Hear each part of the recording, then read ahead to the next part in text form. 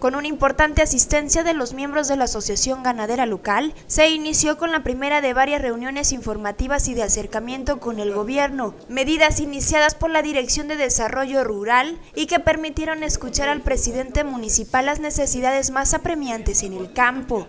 Nosotros queremos trabajar con ustedes, como quien dice, agarrado de la mano, que es lo que nos hace falta con el ayuntamiento y el sector ganadero, que hemos estado muy olvidados en estos seis años.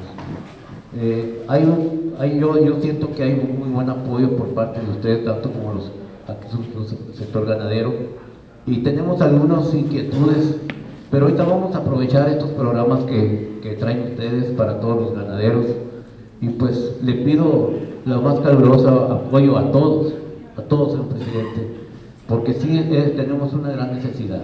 Este primer acercamiento fue para hacer del conocimiento de los productores programas de apoyo económico al que pueden acceder por diversas dependencias y concursos de capacitación que pueden obtenerlos con mayor brevedad y mejorar así sus producciones. Ocupa tantos estos apoyos y tenemos a las personas adecuadas y especializadas en la materia eh, que nos pueden ayudar para, para conocer estos programas.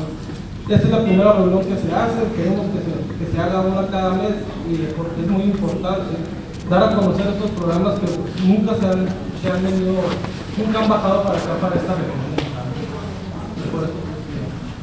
Muchas gracias por, asistir. En el evento también estuvieron presentes los representantes de Zagarpa y el secretario de la Reforma Agraria. Considerando las necesidades que se tienen en el campo, esta representación refleja que es prioridad darle celeridad a las gestiones para que avancen y se vean los beneficios, según se concluyó en la reunión. Con imágenes de Carlos Reyes para el canal de las noticias, Claudia Gómez.